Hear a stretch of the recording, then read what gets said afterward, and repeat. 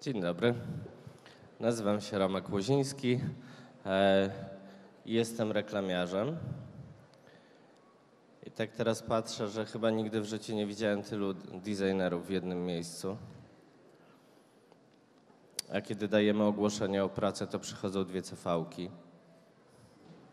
Ktoś z Państwa szuka pracy? Ręka w górę.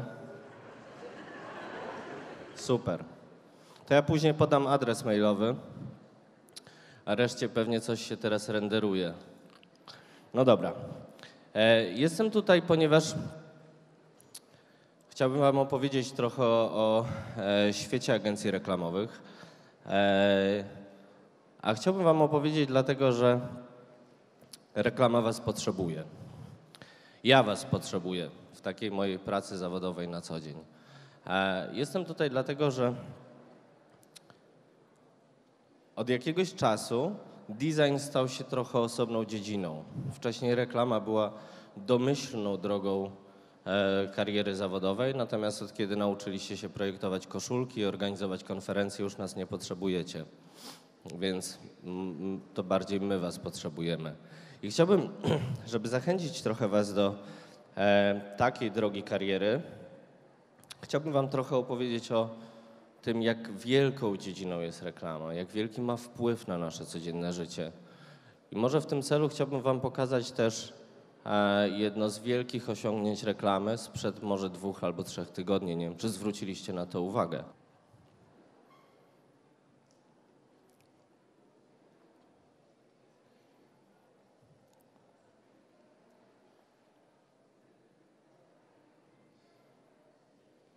Tara.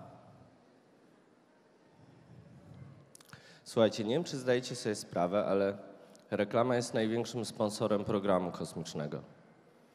Od wielkiego rozwoju telewizji satelitarnych i takiego boomu telewizji w latach 50., 60., e, nagle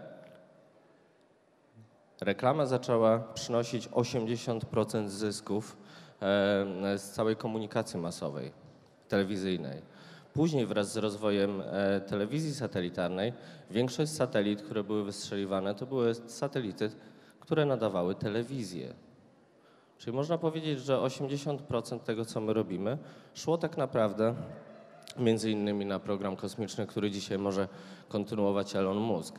Ale to jest tylko jedna z wielu rzeczy, kiedy zastanowimy się nad tym tak naprawdę, co daje reklama i co zmienia reklama. To jak się ubieramy, to jak się zachowujemy, to jakie filmy oglądamy w kinie, to jak wygląda nasza przestrzeń na zewnątrz, to o czym marzymy. To jest coś, co tworzy reklama. Więc jest to gigantyczna branża, która jest w stanie zmieniać całe pokolenia, definiować całe pokolenia. I można mieć na to wpływ. I to jest olbrzymia odpowiedzialność. Ale wszyscy oglądamy telewizję i wiemy o tym, że też reklama ma trochę na sumieniu.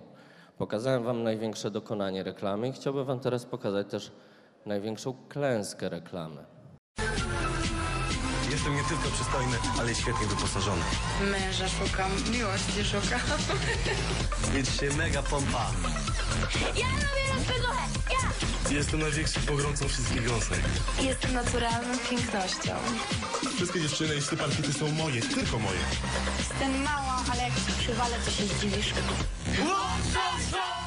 Jeżeli myślicie, że to, co leci w telewizji, leci dlatego, że ludzie tego chcą, to jesteście naiwni. To, co leci w telewizji, to jest to, za co reklamodawcy chcą płacić. Kogo trzeba ściągnąć przed telewizor, żeby mu coś sprzedać.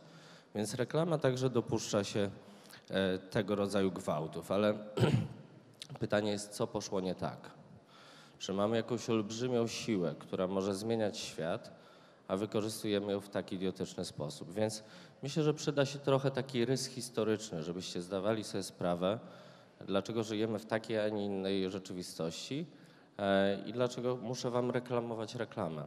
Zacznijmy od początku takiego w Stanach. Można powiedzieć, że Stany tak naprawdę są największym rynkiem reklamowym. 864 rok to jest data powstania e, agencji reklamowej, która najdłużej istnieje nieprzerwanie na rynku. Istnieje do dziś i ma oddział także w Warszawie. Musicie pamiętać, że to są czasy, kiedy nie istniało jeszcze wolne państwo polskie, takie jakie znamy dzisiaj. Następnie 1867 rok. Wtedy po raz pierwszy pojawiły się w ogóle przestrzenie na wynajem billboardów. To też nam się trochę w pale nie mieści, nie? Że trochę tego czasu minęło i że billboardy mogły wyglądać w tamtych czasach tak. Dzisiaj narzekamy na zaśmieconą przestrzeń, ale uwierzcie mi, to naprawdę nie jest nic nowego.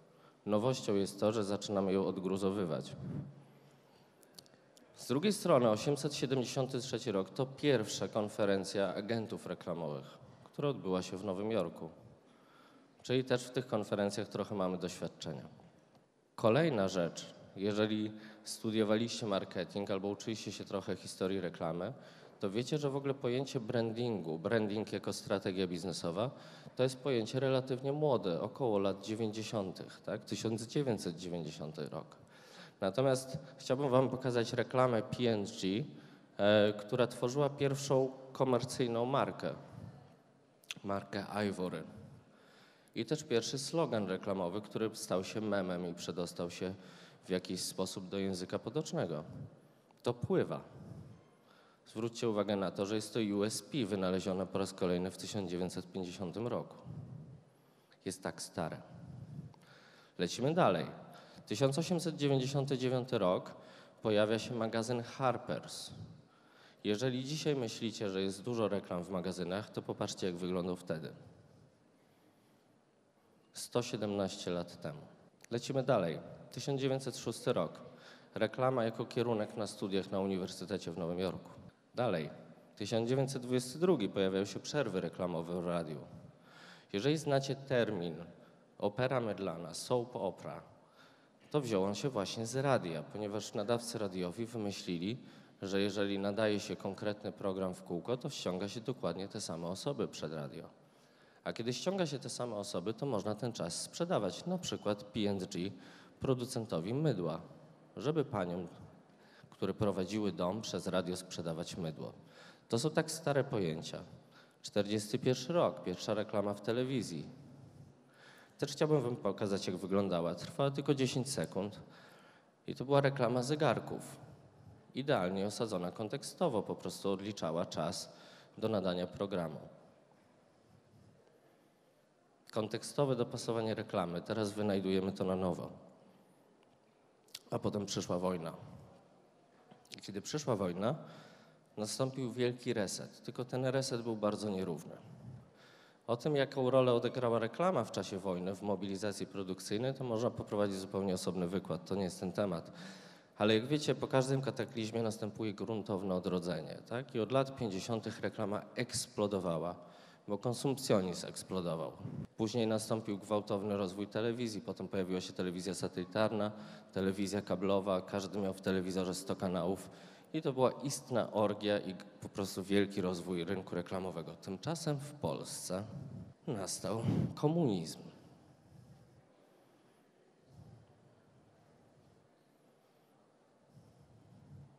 Poleciałem parę lat do przodu. Dobra. Każdym razie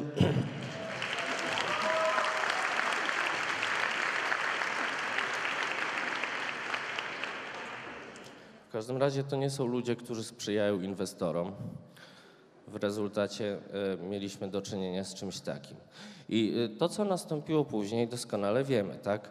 E, Jarosław Kaczyński nie był internowany w czasie stanu wojennego i w ten sposób przez zaskoczenie obalił komunizm. Więc nastąpiła wolna Polska i oto zdjęcia z otwarcia pierwszego McDonalda w latach 90. I wtedy zaczęła się rozwijać reklama, o której mówimy dzisiaj. Reklama współczesna, wolnorynkowa. Kiedy ktoś chciał coś sprzedać i musiał się zareklamować. Tylko jak mogła wyglądać reklama, skoro nie mieliśmy za sobą doświadczeń wolnego rynku? Ta reklama, jak pewnie podejrzewacie, na dzisiejsze warunki była przaśna dziwna, śmieszna, strzelała z cyca. A może nie? Tak wyglądała reklama w latach 90.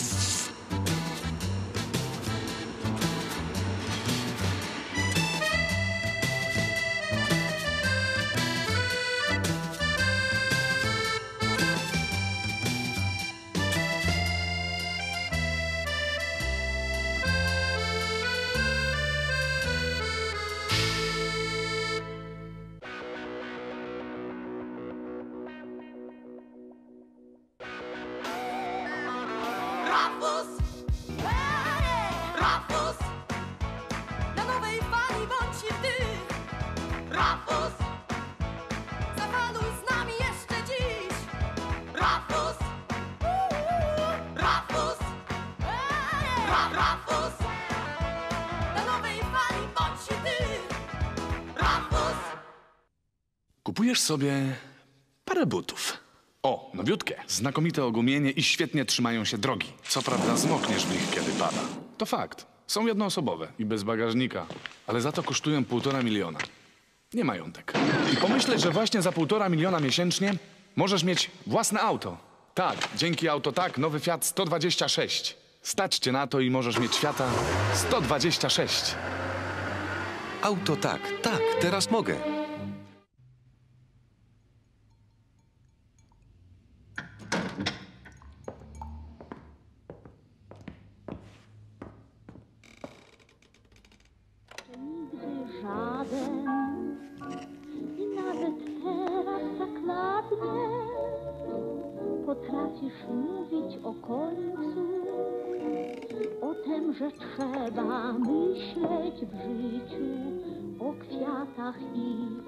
O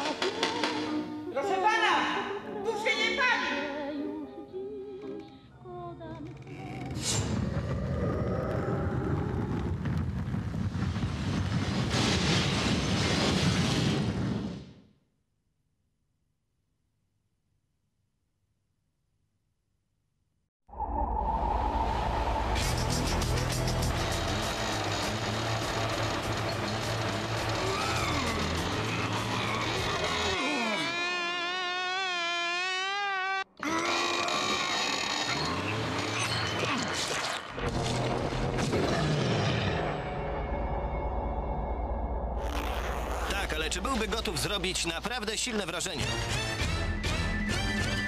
Americanos, wyzwanie to ubranie.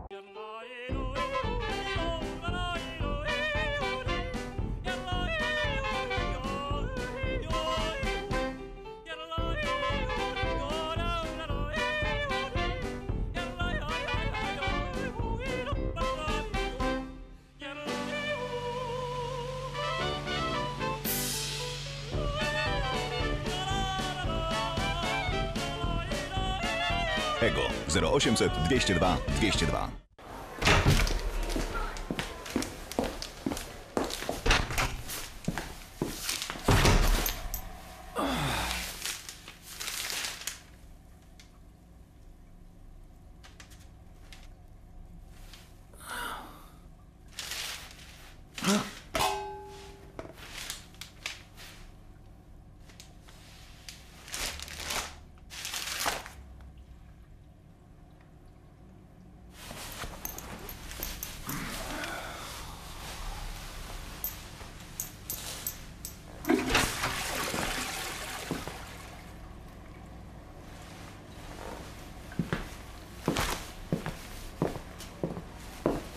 Puls biznesu. Information you can't do without.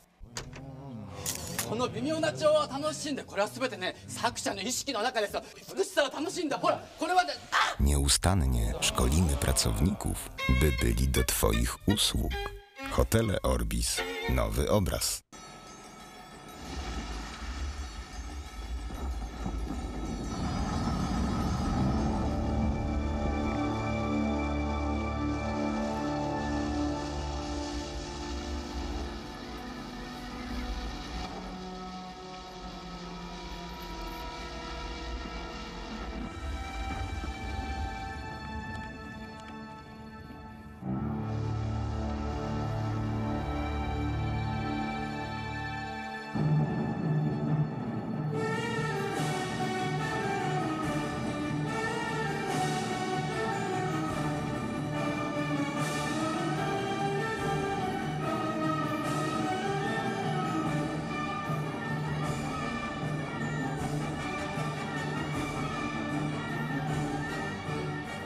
All-season traction is now standard on every BMW. Because we all have places to go. Mówcie co chcecie, ale ja bym sobie życzył, żeby takie reklamy leciały dzisiaj w telewizji. Więc co się stało? Zobaczcie, to powstało w 10 lat po tym, jak po raz pierwszy mogliśmy sami założyć działalność gospodarczą, mieliśmy pieniądze, żeby sprzedawać i mieliśmy inwestorów. Mam taką hipotezę, że to było możliwe dlatego, że mieliśmy olbrzymie dziedzictwo. Być może nie dziedzictwo wolnorynkowe, ale mieliśmy łódzką szkołę filmową, mieliśmy niesamowity teatr, świetnych scenarzystów, fotografów, mieliśmy polską szkołę plakatu. Mieliśmy naprawdę dużo możliwości. Polskie wzornictwo. To wszystko było niesamowite dziedzictwo, które sprawiło, że mogliśmy jak naturszczycy wejść w rynek komunikacji i robić naprawdę dobrą reklamę. No ale jak wszyscy wiemy, gdzieś to wszystko skręciło w złą stronę. Moim zdaniem ten kataklizm, który nastąpił, był spowodowany tak naprawdę przez internet. Zwróćcie uwagę na to, że po tym jak przez 10 lat uczyliśmy się komunikacji reklamowej, nagle każdy po raz pierwszy mógł z dnia na dzień wiedzieć, co wczoraj było reklamowane na Super Bowl. Mógł wejść na YouTube i zobaczyć e, wszystkie reklamy Nike od 15 albo od 20 lat. Mógł zobaczyć reklamy Apple'a.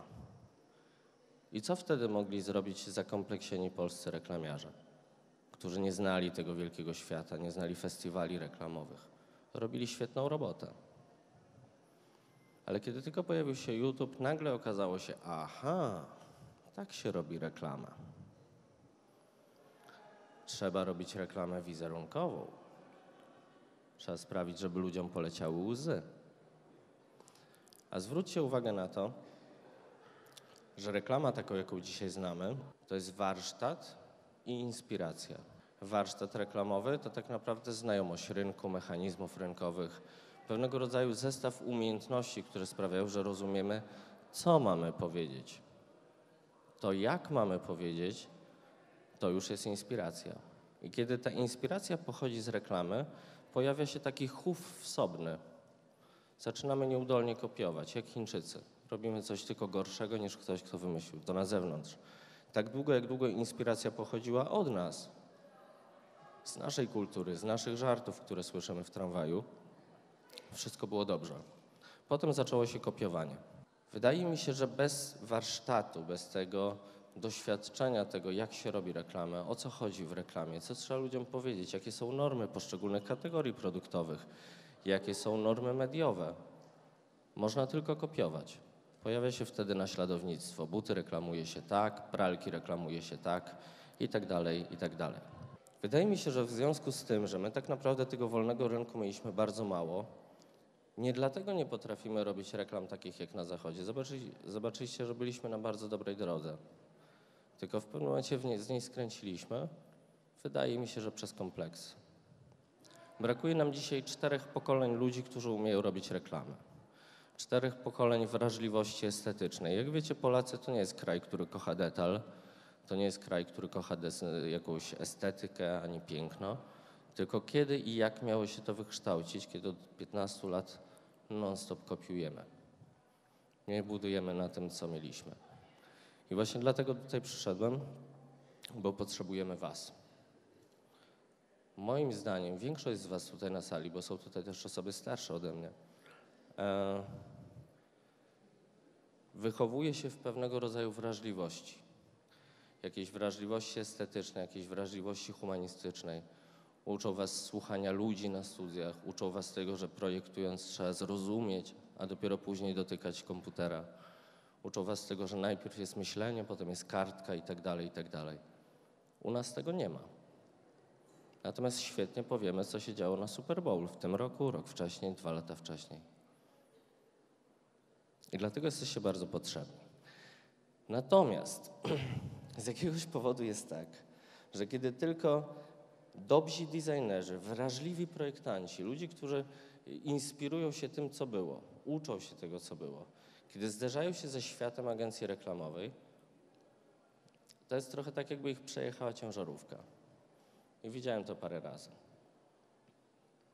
Pierwszy raz dostają jakiegoś klienta głupiego, jakieś banery do przeformatowania i zaraz, kurwa, ja tu miałem zmieniać świat. No to ja wam mogę tylko powiedzieć, że to jest możliwe.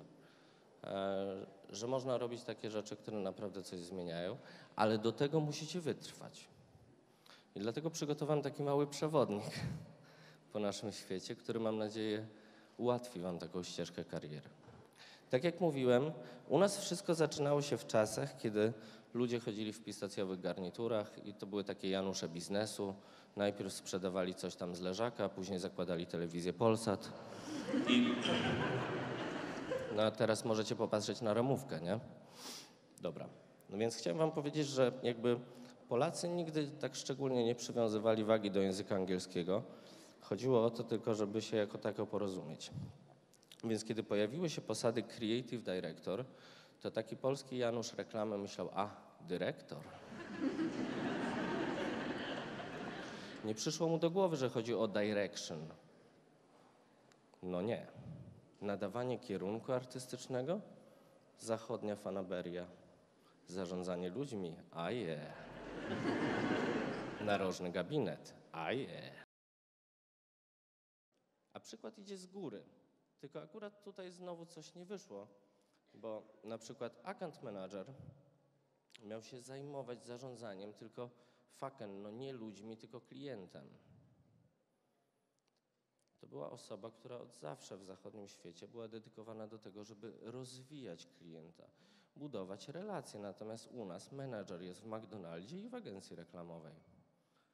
Zostaje się akantem, bo kolega pracuje w reklamie, a dwa tygodnie później akant menadżerem i wtedy dostaje się akanta. Tak wygląda polska ścieżka reklamy. Tą ścieżką nie idźcie. Jeżeli traficie do agencji reklamowej, gdzie zrozumienie dyrektora kreatywnego, art dyrektora albo account managera jest takie, że to chodzi o to, żeby być nad kimś, to znaczy, że to nie jest dobre miejsce do pracy. Niestety nadal jest to większość firm, ale uczymy się. Wcale nie jesteśmy tacy głupi. Lecimy dalej. Są agencje małe i duże. Może się to wydawać mało istotne rozróżnienie, ale jest koszmarnie istotne, dlatego że kiedy ja widzę designerów, którzy trafiają do dużej, na przykład sieciowej agencji reklamowej i kiedy już rzucają papierami po dwóch tygodniach, dlatego że nie po to tutaj przyszli, żeby reformatować banery, idą do małej agencji reklamowej. Tylko zapominają o jednej rzeczy, że w dużych agencjach reklamowych są duże projekty i dużo projektów, a w małych agencjach reklamowych odwrotnie. A reklama to jest nauka przez doświadczenie. W związku z tym w dużej agencji reklamowej, owszem, przeformatowujesz banery, ale za to robisz 40 marek w ciągu dwóch lat. 30 kampanii rocznie. Możesz robić naprawdę bardzo dużo i zdobywać doświadczenie, po prostu zjeść z różnych pieców. Natomiast w małej agencji ten rozwój jest odpowiednio spowolniony. A ten rozwój, właśnie to doświadczenie, umiejętność rozróżnienia, czym się różni rynek ubezpieczeń od rynku FMCG, umiejętność zrozumienia tego, kiedy sprzedajemy rzeczy, które ludzie wybierają przez kilka miesięcy, jak kredyty hipoteczne, od sprzedaży wody gazowanej. To właśnie to rozróżnienie sprawia, że nabieramy warsztatu reklamowego. I to wymaga gigantycznego przemiału projektów. Lecimy dalej. Prawdopodobnie wiecie, że agencje bardzo nie lubią przetargów. Od zawsze narzekają, że te przetargi to jest w ogóle jakieś przekleństwo i że teraz coś się stało takiego, że wszyscy robią mnóstwo przetargów i że nigdy do tej pory tak nie było. To teraz tak się zrobiło przez ten internet. Agencje social mediowe i agencje interaktywne. A jak poczytacie taką straszną książkę, Sięgając Gwiazd, to jest biografia Leo Barneta, której praktycznie nie da się czytać, bo jest napisana w formie kroniki w stylu w 54 do agencji przyszedł Andrew. Andrew był akantem. Z Andrew był bardzo śmieszny gość. W 55 do agencji dołączyła Lisa. I tak 400 stron. Ale kiedy się wczytacie, to nagle okazuje się, że w latach 30. były organizowane przetargi, gdzie było zaproszone 30 agencji reklamowych, a czas realizacji był tydzień. To nie internet spowodował. Agencje nie lubią przetargów, dlatego że agencje żyją z tego, że trzy razy sprzedają 100% godzin tego samego człowieka, a nie ze sprzedaży idei kreatywnych. W związku z tym musimy też pamiętać o tym, że to ludzie na przetargach najwięcej się uczą. I to się nie zmieni. Dobra agencja reklamowa jest non-stop w przetargu i to nie w jednym, tylko w kilku albo w kilkunastu. Dlatego, że założenie, że jesteśmy w stanie obsługiwać jednego klienta przez 10 albo 15 lat jest zwykłą naiwnością. To się zdarza. Wszyscy byśmy tak chcieli, to jest wygodne, ale to nie jest norma. Normą jest to, że o klienta się walczy. A to, jak się klienta pozyska, decyduje o tym, jak potem go obsługujemy, na jakich warunkach, na jakim poziomie artystycznym. Od tego wszystkiego są przetargi. Tak jak mówiłem, na przetargach ludzie najszybciej się uczą. Więc kiedy traficie do agencji reklamowej, która jest taka dumna, że mówi, my nie startujemy w przetargach, no to znaczy, że za jakieś półtora roku skończy się wasze miejsce pracy. Natomiast jeżeli traficie do agencji, gdzie będziecie siedzieli po wieczorach, dlatego że z tygodnia na tydzień ciągle ciągły pitch, ciągłe prezentacje i tak dalej, możecie mi wierzyć, właśnie to jest najbardziej intensywny okres rozwoju zawodowego w waszym życiu. I teraz jest jeszcze kilka mitów dotyczących kreatywności i sposobu pracy. Był taki kiedyś film, mm, a w zasadzie teatr telewizji Ketchup Schroedera. Czy ktoś z was to pamięta albo oglądał? W Ketchupie Schroedera grał pan Adamczyk i grał artystę, który był bardzo twórczy, tak długo jak długo nie miał dziewczyny. I przez pierwszą połowę całego teatru on wymyślał niesamowite hasła, że ciasteczka to miłość, a wszyscy klaskali. Że chusteczki higieniczne to zbawienie i wszyscy klaskali. Zamykał się na tydzień, siedział z maszyną do pisania i wychodził herbatniki to młodość, a wszyscy wow, super. To oczywiście już się skończyło, dlatego że agencje reklamowe zarabiały na produkcji i na skali produkcji. Tak jak mówiłem, bardzo niechętnie pracują sprzedając idee kreatywne. To jest naprawdę najtrudniej sprzedać. I w związku z tym ta codzienna praca jest pracą totalnie powtarzalną. Robi się cały czas dokładnie te same formaty prasowe, dokładnie te same formaty telewizyjne, tylko szuka się na nowo, na nowo, na nowo tego, jak zrobić, żeby było takie jak stare, tylko odrobinę nowsze, trochę stuningowane. I teraz to nie jest źle. To nie jest źle, bo z mojego doświadczenia z pracy ze studentami wynika, że ludzie naprawdę nie są zdolni do ciągłej pracy kreatywnej. Dlatego, że praca kreatywna, taka na co dzień, to jest koszmarna męka. I gdybyśmy musieli startować do przetargu codziennie i codziennie wymyślać idee kreatywne, oszalelibyśmy. Dlatego, że normą w pracy kreatywnej jest to, że czasem się udaje, a przeważnie nie i w związku z tym jesteśmy non-stop wykończeni. Ktoś z was kiedyś wyszedł z burzy mózgów takiej, że miał ochotę komuś strzelić w ryj? O tym mówię. To jest codzienność. Więc naprawdę cieszcie się, że możecie posiedzieć przy komputerze i przeformatować kilka banerków. I teraz jedna bardzo, bardzo ważna rzecz.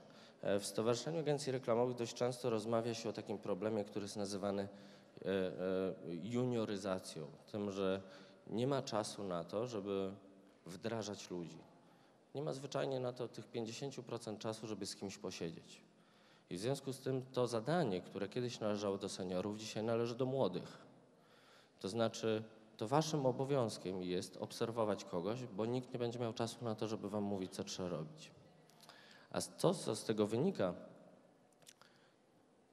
to że jeżeli chcemy się rozwijać, trzeba siedzieć tylko tam, gdzie mamy kogo obserwować. Jeżeli jest tak, że to już was obserwują, to najwyższy czas iść gdzieś dalej. A jeżeli jesteście wśród ludzi, od których nic nie możecie się nauczyć, a czasem to się po prostu czuje we krwi, tam niczego się nie nauczycie. Bo tak jak mówiłem, reklama to warsztat. Jeżeli chcecie dochodzić do niego sami, wolna droga, ale to jest najdłuższa, najdroższa i najmniej efektywna droga, jaką znam. Pojawia się ciągle taki, zawsze pojawiają się raporty finansowe SAR-u i pojawiają się informacje o tym, ile zarabia się w reklamie, ja widzę takie komentarze, chyba w ogóle w Stanach albo coś tam, tak? I Kasia z Grójca mówi, o Boże, trzy tysiące, ja bym za to dom wybudowała, nie? No nie, słuchajcie, znaczy po pierwsze to dowodzi tego, że nie znacie statystyki, nie rozumiecie czym się różni mediana od średniej. To bardzo źle o was świadczy, jeżeli chcecie pracować w reklamie. Ale druga rzecz, która jest w tym jakby trapiąca, to jest ten problem wielkich oczekiwań. Znaczy nie po to umiem narysować minimalistyczną kreskę, oddać głębie, kury nioski, żeby dzisiaj zarabiać dwa na rękę. No nie, słuchajcie, to jest strasznie proste. Tak jak mówiłem, są agencje duże i małe i są klienci duzi i mali i są projekty, na których zarabia się dużo i są projekty, na których zarabia się mało. To znaczy, że pracownik dostaje część zysku, jaki wypracuje agencja ze sprzedaży jego pracy. Jeżeli chcecie zarabiać 7, to znaczy, że agencja musi was sprzedawać za 14. Potraficie wyprodukować miesiąc w miesiąc wartość za 14 tysięcy? Brawo! Właśnie o tym mówię. Można wyprodukować wartość za 14, można wyprodukować wartość za 3. Ale to jest pierwsze pytanie, kiedy sobie zadajemy, ile mogę zarabiać. Bo teraz druga strona medalu. Czasem po prostu nas dymają. Czasem jest tak, że przynosimy olbrzymią wartość, ale nie mamy żadnych perspektyw rozwoju. Wtedy po prostu trzeba zawinąć manatki. Albo winić, winić świat. To są różne strategie. Dobra. I teraz coś, o czym mówiłem jeszcze chwilę wcześniej. Tak? Warsztat reklamowy, ta umiejętność rozróżnienia tego, e, jak się reklamuje różne typy produktów, jakie reklamy ludziom się podobają, jakie nie, jakie reklamy działają, a jakie nie, wynika tylko i wyłącznie z doświadczenia. Tylko i wyłącznie. Tego się nie da nauczyć w szkole, tego się nie da wyczytać w książkach. To jest kwestia ilości fakapów, ile mamy za sobą. To naprawdę tylko od tego zależy. I teraz ktoś, kto 5 lat siedzi w reklamie, ma małe szanse być lepszy od kogoś, kto siedzi 10 lat. I teraz to wynika z tego, że tak naprawdę większość tego doświadczenia to jest doświadczenie i umiejętność pracy z ludźmi. To jest największa wartość, jaką możecie wnieść do firmy, bo musicie pamiętać, że reklama i projekty, które realizujemy, to jest gra zespołowa. I nie chciałbym, żeby to brzmiało jak jakiś taki tekst motywacyjny z LinkedIna albo coś takiego. To nie o to chodzi. To chodzi o to, że najbardziej doświadczony pracownik to jest pracownik, który dobrze wpływa na swoje otoczenie. Takimi ludźmi chcemy się otaczać w pracy, takich ludzi rekrutujemy. Choćby nie wiem, jak ktoś był zdolny, jeżeli sprawia, że ludzie nie chcą z nim pracować, jeżeli nie potrafi rozwiązywać konfliktów, jeżeli nie potrafi ogarnąć swojego niezadowolenia z powodu braku otrzymania podwyżki albo coś takiego, jest dla agencji bezużyteczna. A to jest zwykłe doświadczenie zawodowe. Można je zdobyć w McDonaldzie, można je zdobyć tak naprawdę wszędzie. Ale naprawdę umiejętność i biegłość posługiwania się Photoshopem jest warta nic przy umiejętności porozumienia się z kolegami, którzy siedzą biurko obok. To jest największa wartość, jaką można wnieść do zespołu agencji reklamowej. I teraz wielką klęską moim zdaniem reklamy i wielką jakby taką e, bardzo złym trendem jest narzekanie na klienta. To właśnie wynika z braku doświadczenia. Jak widzę strony takie jak Junior Brand Manager, albo grafik płakał, jak projektował i tak dalej, i tak dalej, to mi jest smutno. Bo musicie pamiętać, że nie da się zrobić czegoś lepszego niż klient. Klient jest najwyższym art dyrektorem. I teraz podam prosty przykład. Wyobraźcie sobie, że macie małe dziecko. I to małe dziecko nie potrafi zawiązać sznurówek. Idziecie na podwórko napierdalać, jak jest głupie, To jest proste pytanie. Czy to sprawi, że ono się nauczy? Obrazicie się na nie? Powiecie, no dobra.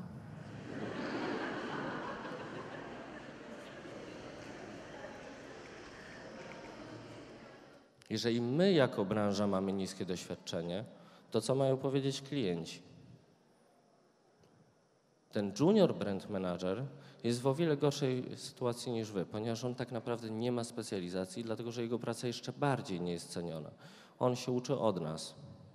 Przez naszą cierpliwość, doświadczenie i nieustanne próby zrobienia czegoś lepiej. Dokładnie tak jak dziecko.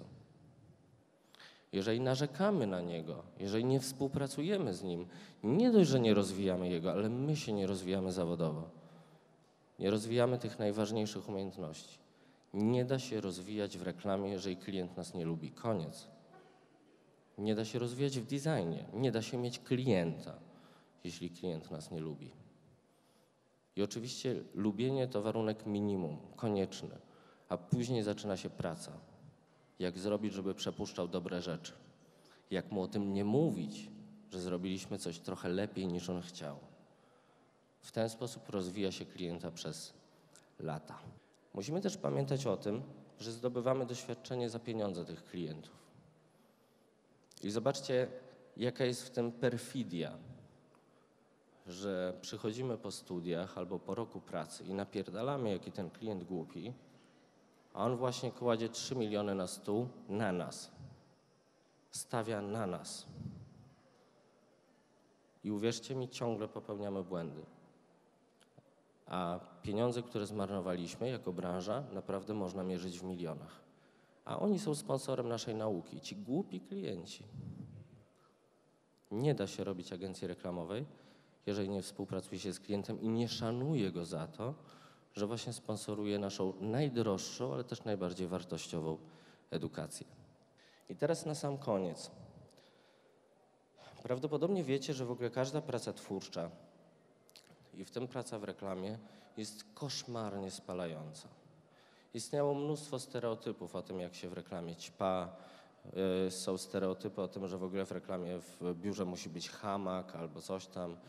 Były historie o ludziach, którzy spali pod agencją w namiotach, no bo był przetarg albo coś takiego. I wiecie co, to wszystko prawda. I teraz zadajcie sobie pytanie, czy ci ludzie naprawdę robią to z powodu czterech tysięcy na rękę? Są dwa powody, dla których możemy latami codziennie się spalać. Pierwsze to są koledzy z pracy. To jest najważniejsza rzecz na świecie. Jeżeli nie uwielbiacie ludzi, z którymi pracujecie, jeżeli nie napędzają was w jakikolwiek sposób, to może być syndrom sztokholmski, nieistotne. Najważniejsze, żebyście nie mogli bez nich. Najlepsze teamy kreatywne, które znam, to są potwornie toksyczne małżeństwa. Ale oni robią to dla siebie. Zdobywają siłę następnego dnia, dlatego że jest tam ta druga osoba, która od niej zależy. To jest pierwsza rzecz. A druga jest taka, że jest grupa być może głupich ludzi, którzy widzą w tym sens. Którzy na co dzień formatują banery i cały czas formatując banery myślą sobie, kiedyś zmienię świat. Kiedyś zrobię coś takiego, co będzie dobre, co zmieni pokolenie, co doda siły tym, którzy są słabi i tak dalej, i tak dalej. I dalej formatują banery. I ci ludzie być może za 15 albo za 20 lat będą mogli to zrobić. Natomiast to, co obserwuję najczęściej, to są ludzie, którzy przychodzą do pracy i mówią, to nie ma sensu. Wersja 14 almost final A, B po poprawkach pani Krysia OK, final w dupę. To nie ma sensu. Ja myślę, że to po raz kolejny jest nasza osobista robota. Dlatego, że sens znajdujemy my, a nie jest nam dany z zewnątrz. Jeżeli wy nie znajdziecie swojego osobistego sensu, który pozwala i daje siłę do tego, żeby się spalać dzień po dniu po to, żeby być może za 10 lat mieć szansę wykorzystać ten gigantyczny wpływ reklamy, żeby zrealizować nasze własne osobiste, uśpione przez lata ideały, to to robimy dlatego, że ktoś zaczął szukać sensu. Zaczął się zastanawiać, po co to robi, dlaczego, co jest w tym ważne, dlaczego jest gotów. Jeżeli tego nie zrobi, to kilka lat później zakłada taki smutny butik kreatywny, gdzie siedzi on, jego kolega i jeden klient, który go nie znienawidził, i tak do emerytury. Zapewniam Was, że tego byście nie chcieli. E, więc na sam koniec, wracając do tego, od czego zacząłem, wydaje mi się, że strasznie Was potrzebujemy.